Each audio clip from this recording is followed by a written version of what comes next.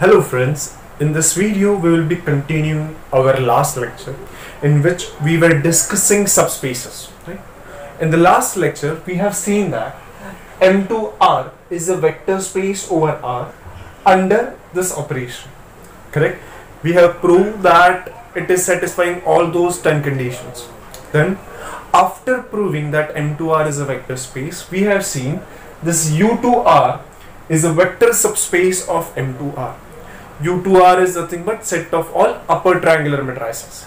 And also in the last lecture only, we see that D2R, that means set of all diagonal matrices, is forming a subspace of U2R, or you can say it is a subspace of M2R also.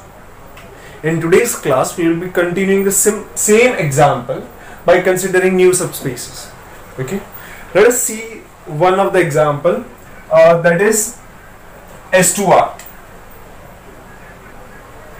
So S2R is nothing but set of all symmetric matrices which are 2 cross 2 and the entries are real numbers. Correct? That means if I want to define this set, then the set can be defined by a 2 cross 2 matrix A, B, B, C, where this A, B, C are real numbers. So this is a subset of M2R, definitely yes, since every element of this is a 2 cross 2 matrix over R. So the given set is a subset of M2R. Is it a non-empty set? Yes, it is non-empty. Since we know that, always I give this trivial example 0, 0, 0 is an element of S2R. It is satisfying that condition if you see. Correct? So we know that this is a non-empty subset of M2R.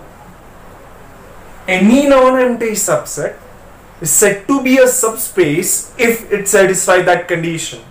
Condition is alpha w1 bar plus w2 bar must be element of that set where alpha is any real number. W1 and w2 are the element of that set.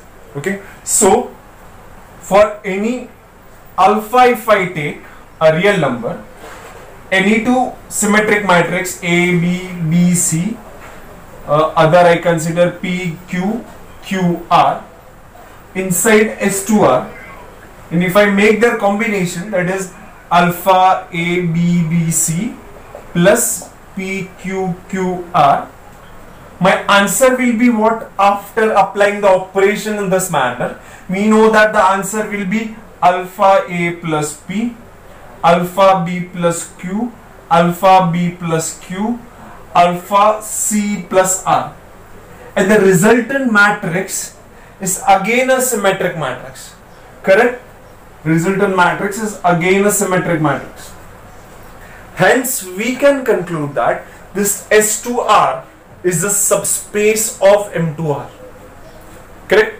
So, we got one more example of subspace.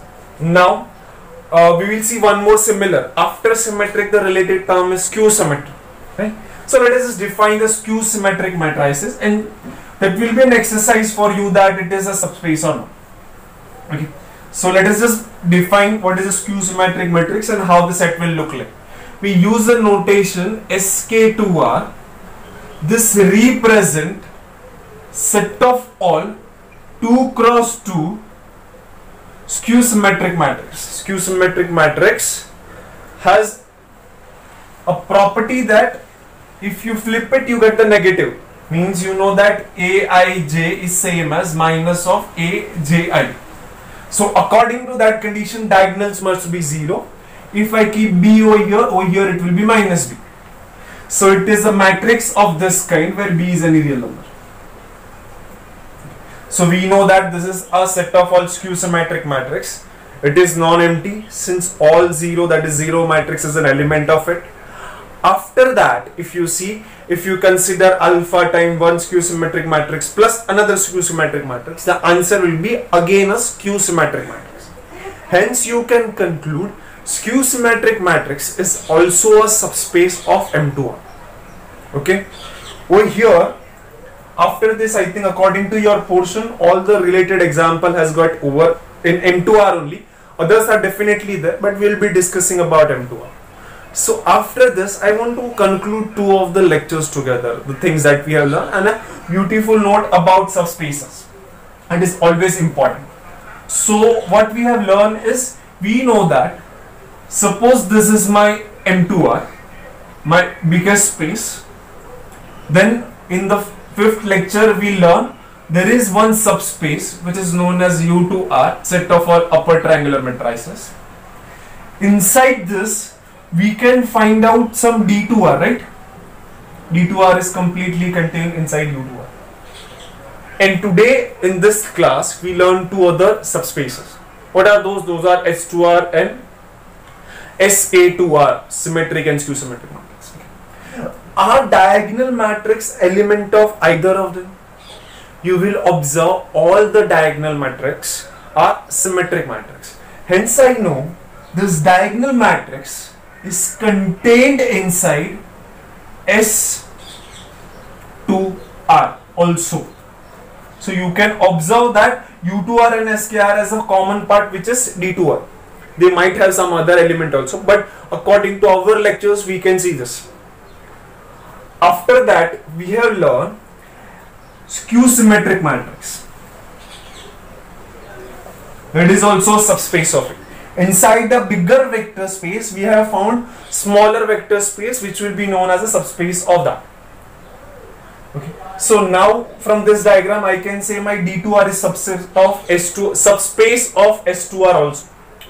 Also, in this diagram, I purposely make all of them intersect at somewhere it might be possible their intersection might be empty over here but they must have at least one point in common all the subspaces that element is nothing but the zero element so this is a simple note for you guys whenever you are talking about a subspaces one thing that you should make sure zero element must be element of otherwise it cannot be a subspace in the next example of a subspace we will discuss this indeed about the zero element. But for now, you should remember any subspace must have a zero element. So if I give you any vector space and I talk about any subspace of it, then every subspace of them has a non-empty intersection. Because we know that all of them contain a one common point that is a zero element. Okay. So I think this is enough for the class. In the next class, we will be continuing the discussion about subspaces soon. Okay. Thank you so much for watching this video. Share it with your friends and subscribe to my channel.